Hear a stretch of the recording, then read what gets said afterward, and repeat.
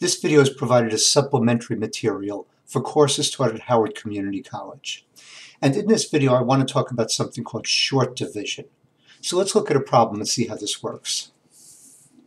So here I've got this division problem, 3 divided into 5,289. Now I'm going to do this by the long division method, and then we'll do short division and compare the two methods. So I've got this 3, I'm dividing it into 5,289. I'll take the 3 and divide it into the first digit I've got. So 3 goes into 5 one time.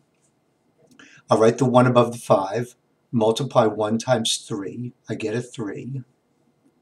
Subtract 5 minus 3 is 2. Bring down my next digit. So now I've got 22. 3 divided into 22 goes 7 times.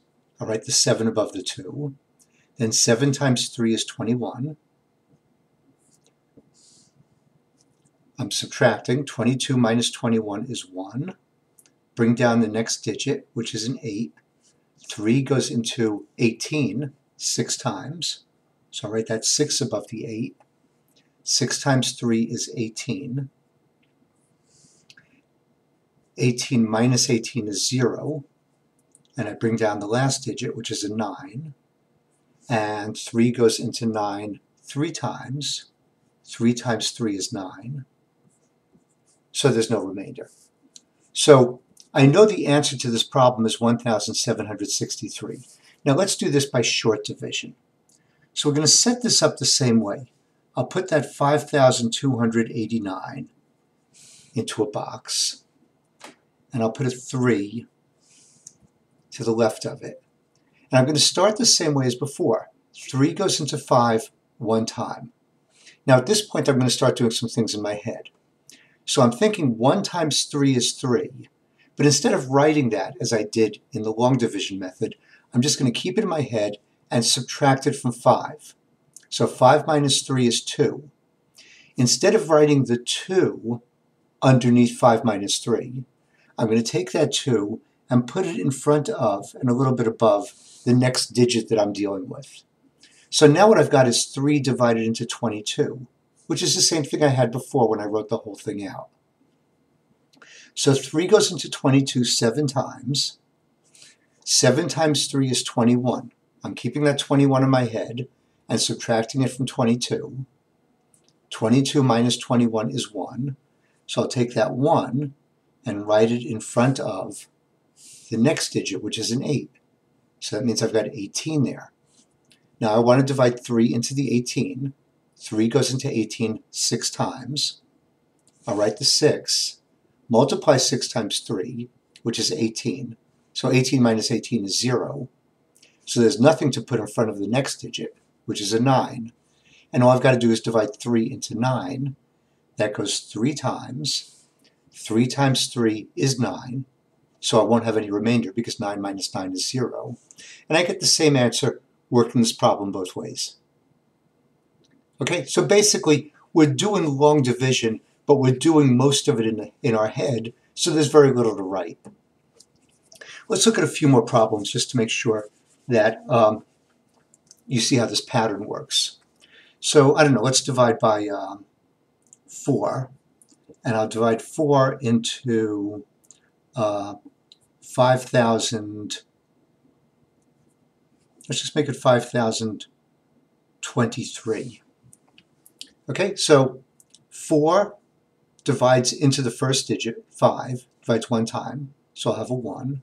1 times 4 is 4. I'm not going to write the 4, but I'll, in my mind, subtract it from 5, and I'll get a 1. So I'll write that 1 in front of and a little bit above the next digit, which is a 0. So now I've got 4 divided into 10. 4 goes into 10 two times. And then I want to multiply. 2 times 4 is 8. And I'm going to keep that 8 in my head and subtract it from 10. 10 minus 8 is 2. So I'll take that 2, put it in front of the next digit, which is also a 2. And I want to divide 4 into 22.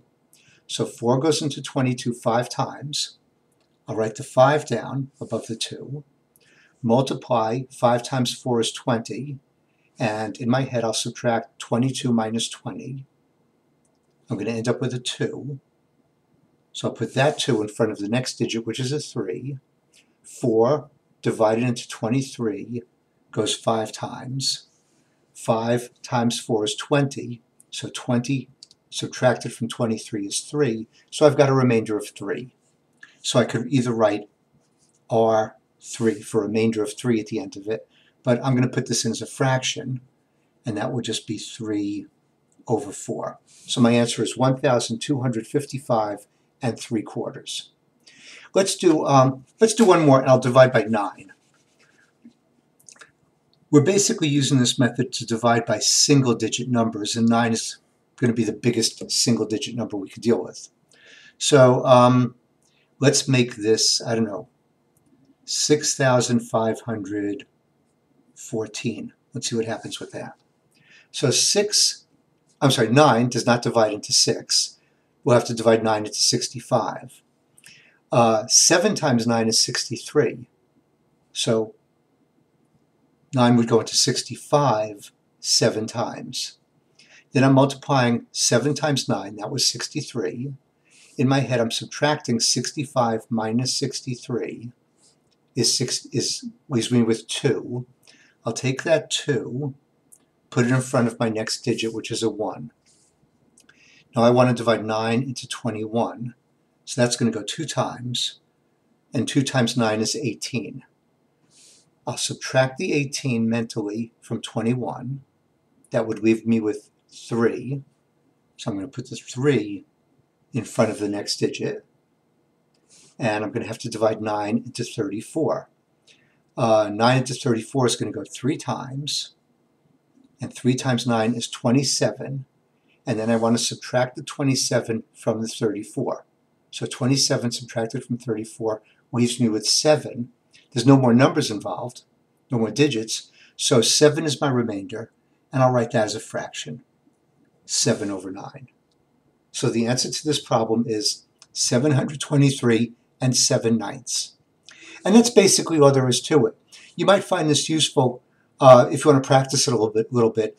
It saves you a bit of work, saves you some time, and saves you some paper. Okay, that's it for now. Take care, and I'll see you next time.